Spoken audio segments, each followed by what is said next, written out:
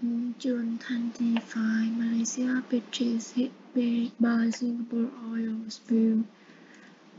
Uh, an oil spill of Singapore has spread to beaches in southern Malaysia, a government official said Friday, with cleanup operations underway.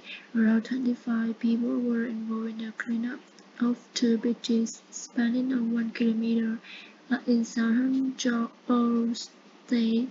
Local uh, government official Ling Tian Soon told AFP uh, work began today and he hopes to complete the task tomorrow. From our observation, uh, marine life or fishermen activities have not been affected, uh, he said.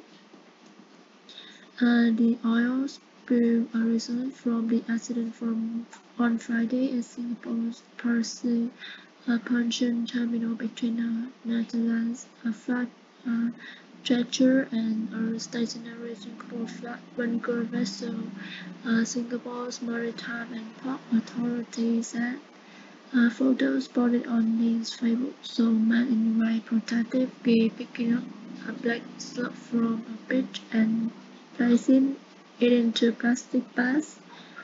Uh, Ling added that uh, Malaysia's maritime officials were monitoring to see if the oil spill spread to other parts of the coast.